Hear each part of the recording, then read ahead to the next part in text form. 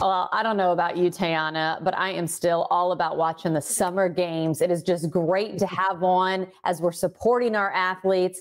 But sometimes I want to do a few more things to celebrate. And why not maybe whip up a cocktail or two that is able to support the United States trying to go after those gold medals? Let's go ahead bring in our gold medal winner already. Look at that. He's got the flag. Jonathan is back with us, the cocktail guru. Jonathan, how have you been? I have been well. Uh, thank you very much. Hopefully, uh, you all have been well as as well. Oh, I think so. It's great to see you. So, what's new with Cocktail Guru these days? You know, what what new shows and podcasts do you have coming up? Well, um, as you probably know from past appearances, I've been doing, uh, well, I've pivoted, uh, you know, and we're doing these virtual team building mixology classes for corporations. Uh, so that's been going strong as well. Um, I have a uh, new YouTube show on a channel called Eats Drinks TV.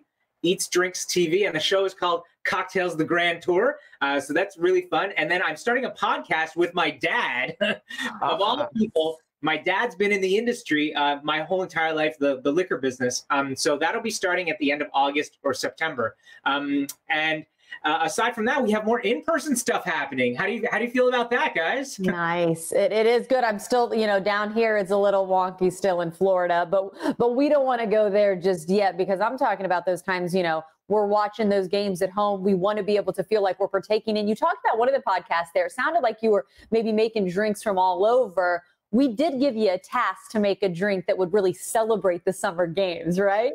you are absolutely right. And I, I, took the task and I and I ran with it like I'm competing in the games. uh, and and the, the base of this cocktail, I'll go right ahead and, and just start walking you through it and making it. The base of the cocktail is actually a Japanese whiskey, of course, because the games are in Japan. This is called Hatozaki.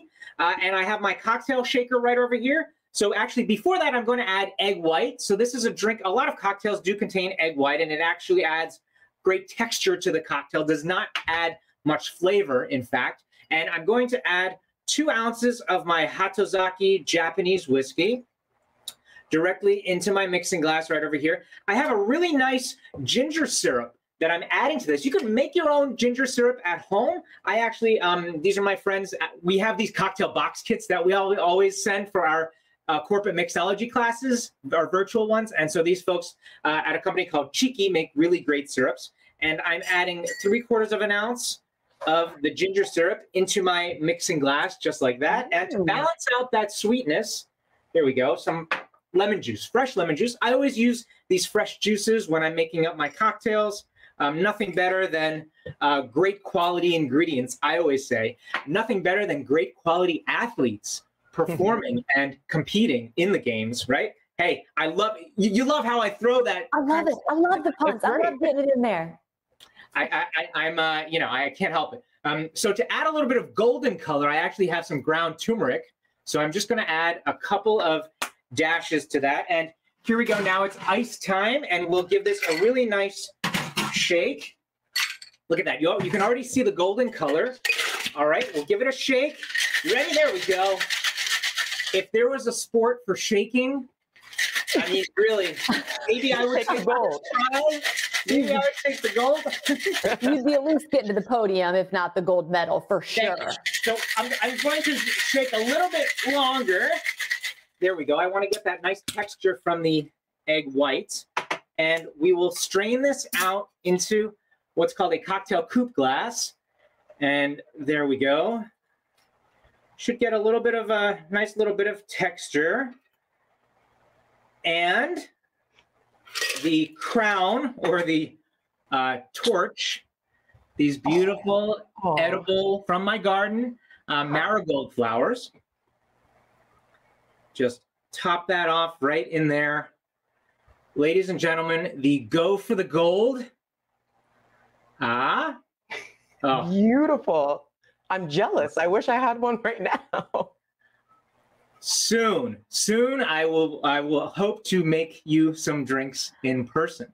I'm curious, Jonathan, like yeah. what does that like even taste like? I'm trying to picture, I tried okay. to like kind of, you know, visualize yeah. what it would be as you were doing the ingredients, but I kind of got thrown with the egg whites a little bit. I, I know it's going to be a little thicker maybe than oh. just the on ice drink, right? Like kind of describe it for us. Right. So if you've ever had a whiskey sour before, Yeah. um, it is very similar in flavor to a whiskey sour because the Japanese whiskey they actually use similar methods to how they make uh, Scotch whiskey in Scotland. Uh, so it is uh, grain based, and then the ginger adds a little touch of that ginger pop, and then the citrus element in there as well, and then a really nice mouthfeel, texture, full bodied, um, gingery whiskey sour style of drink. I That's like great. it. And I have to say, I love that you added that note about the egg whites and the texture, because I know some people see that in a recipe and they get a little confused. I so do. that's good to know. No, do not shy away from drinks with eggs in them. I actually, I- that's what I'm most attracted to when I look at a cocktail menu is a drink with eggs in it. Um, and you know, it, it's it's safe, 100% safe to have, and it adds this really nice texture. Again, not much flavor that it adds to the drink, more for texture and visuals. As you can see, it's kind of it's this really nice foamy texture, right? Yeah. That is I so cool. love that. Okay, so I have to ask too. I know you were doing those virtual mixology classes, and in closing, I know you got less than 30 seconds here. Can people still partake in those things? Can they still interact with you, or really is the new shows the best way to go these days? No, absolutely. Uh, our virtual events are still going strong. So you can go to thecocktailguru.com and Okay. find out more. Uh, we do them worldwide because we can send our cocktail kits worldwide. And of course, it's all virtual. Uh, in person team building events, other soirees and gatherings all around the US because I have a team all across the US. So even though I'm personally in the Northeast and you are in Florida, I do events. I do events in Florida as well. So um, look me up and hold of you. Well, you know what? Job well done. I'll tell you, we gave you the task of making a gold medal drink. You took it, you ran with it. Again, you won the gold in our eyes, Jonathan. Great to see you again, buddy. USA. there we go. Let's sing the anthem now. No, I'll spare everybody at home me singing. But we do hope you stay right there because we have more blend on the other side of the break.